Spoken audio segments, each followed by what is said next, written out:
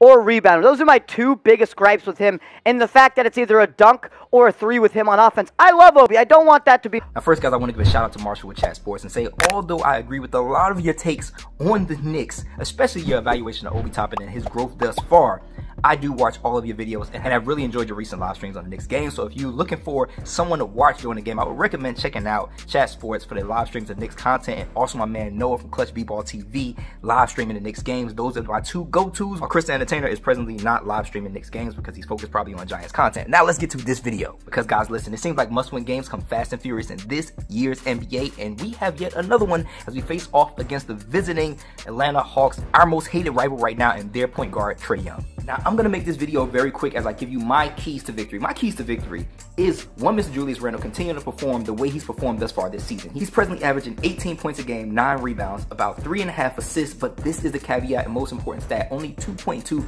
turnovers per game, which is way down considerable to the past three or four seasons of his career. And that's mostly attributed to the fact that we have a real point guard in Jalen Brunson taking a lot of the ball handling and distributing and creating out of his hands. Jalen Brunson has been ipso facto in charge of that. But this is my key to victory, really. The matchups and how we handle Dejounte Murray, who is everything is advertised for the Atlanta Hawks so far this season, averaging 20.6 rebounds, 7.5 assists per game to go along with two steals. He will present a strong mismatch for us on both the offensive and defensive end because he's probably going to be tasked with guarding Jalen Brunson. Now, last year when we played against the Hawks, we saw a lot of Trae Young guarding Evan Fournier, and a year prior, we saw Trae Young guarding Reggie Bullock. Two players who didn't put any pressure on Trae Young. They don't run around a lot to create open looks. They don't create for themselves a lot. And I think in this game, if we're going to start Evan Fournier, because I don't think Tom Thibodeau will start Cam Reddish, and I'm not a big fan of starting Cam Reddish, but this is a game that I would see the need for it if we were to start Cam Reddish and put pressure on Trae Young as a defender. Because if we start Cam Reddish, you can't just easily put Dejounte Murray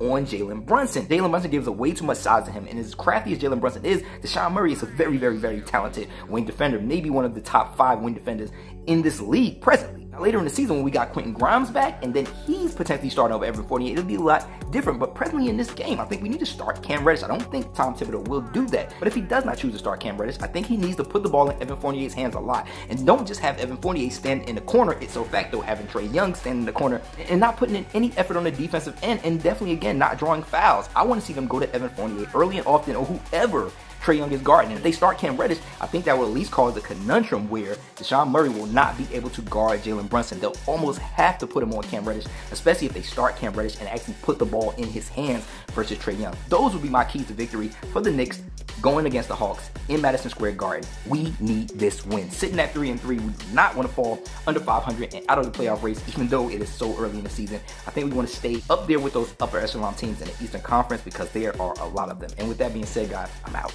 One.